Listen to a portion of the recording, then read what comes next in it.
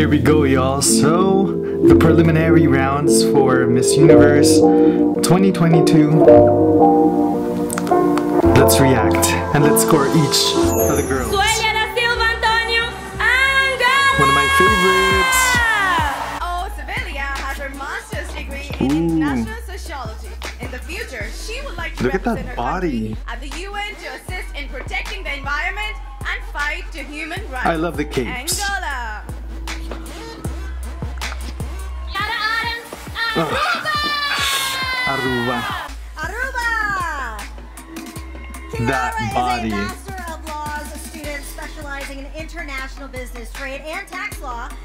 I'm gonna put my scores for each of the girls at the end of their for the performance. So she can combine her two passions, traveling and Ooh, look at that others. Aruba. face.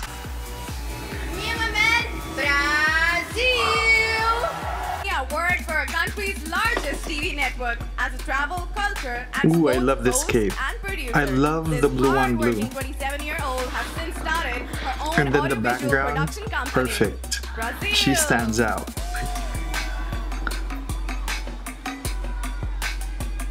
Is it just me or does she look oh, kind of short? Cambodia. After graduating college, 24-year-old Namita became the breadwinner of her family. Cambodia is so- this finance officer plans She looks like Megan Young, Miss World eventually lead a Philippines. Well, Miss. World from a few years ago. She's gorgeous. María Fernanda Aristizábal Urrea, Colombia. Colombia! Mia is a model. Ooh, I love this swimsuit on her. I love this color.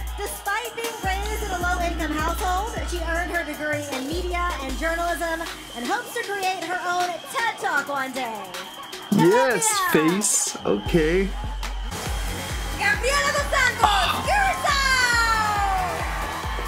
Curacao! During the pandemic, She's probably my biggest Gabriela crush on Miss Universe this year. business. She enjoys kickboxing, speaks four languages, and plans to study psychology in the near Ooh, future. that cape. Eurasia. The face. Miranda, Mexico! One of my new favorites. She wasn't on my on my top host who has picks, my hot picks, but since she was in elementary school. after prelims- she is proud to work with the National Institute Oh, yeah. I noticed her. about empathy and respect towards others. Mexico. gorgeous. Daddy Barba, Panama. A psychology student, Also wasn't on my hot actress, and TV picks, but Although she's busy, Look at that body. Look at that 23-year-old walk. Always finds time to give back, proudly volunteering with the AIDS Healthcare Foundation. Panama.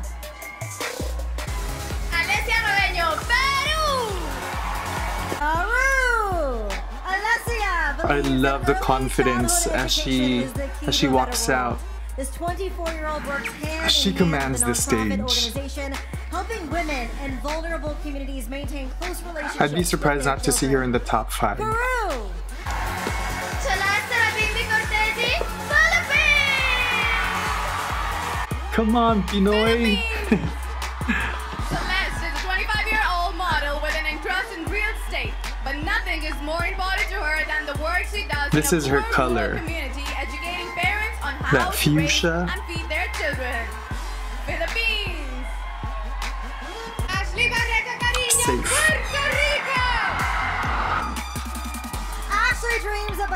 That's a queen right there. To ever go to space. This 28-year-old aerospace engineering student plans to work at NASA in the future while opening a STEM center for children and teens. Ooh, I love Puerto that turn. She hit all the marks.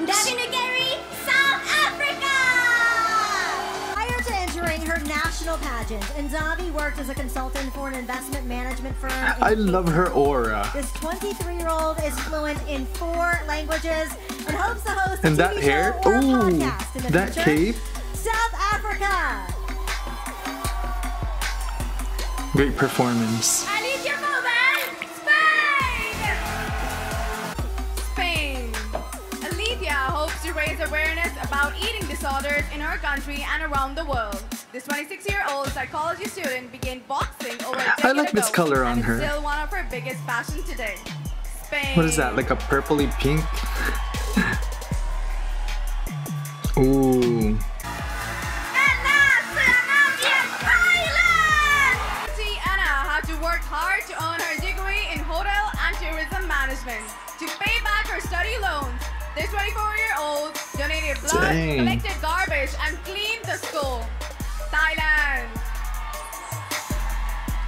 That's a money making face right there, Miss Thailand. Gabriel, USA! USA. Ooh. R'bonney is the CEO of her own eco-friendly clothing brand. In her spare time, the 28-year-old teaches sewing at non-profit design house. She looked like she was on fire while walking. That's hot. And domestic violence. USA. If not now, then when?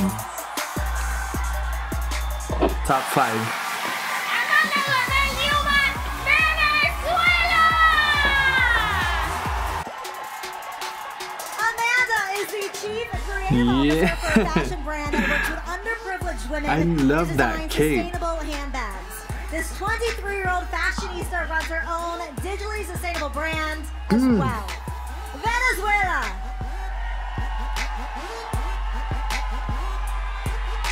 Perfect performance. Top five. Waiting up!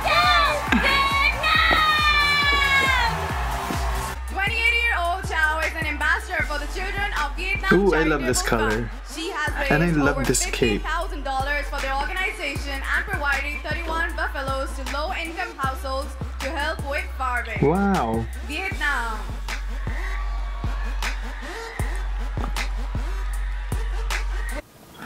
Alright, so those are some of my top picks for the swimwear round of the preliminary competition so far. I know that I missed a lot of the ladies that um, that had great performances, great swimwear performances, but to me these are the ones that stood out and so I wanted to include them in this video. Now I want to know which ladies captured your attention during the preliminary swimwear round. I would love to know that as well so that I can go back and kind of review other performances. But so far, I think this is a great indication of who we are going to see in the semifinals, maybe even the top 5. I know I kind of threw out some some of my top 5 predictions and I'm really excited to see how the weekend pans out because I think that the selection committee is going to have a hard time in selecting our next Miss Universe because as I've said in my previous video, this edition of Miss Universe is probably the most exciting and the most difficult one to judge yet because so many of the ladies are so well prepared and worthy of the crown. I'm gonna make a separate video critiquing the evening gowns of some of the ladies that I chose from the preliminary evening gown competition and then another video for my favorite part of any international or national pageant, the national costume show.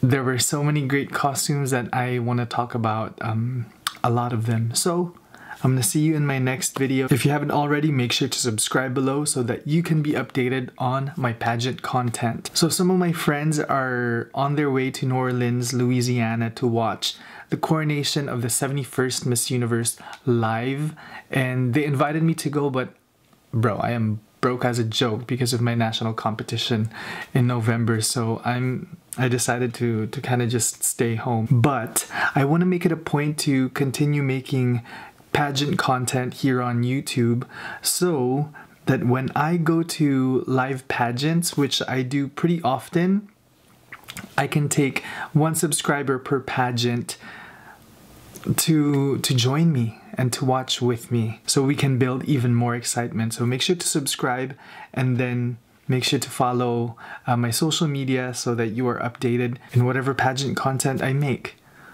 so once again thank you for watching this video and I will see you in the next one. Peace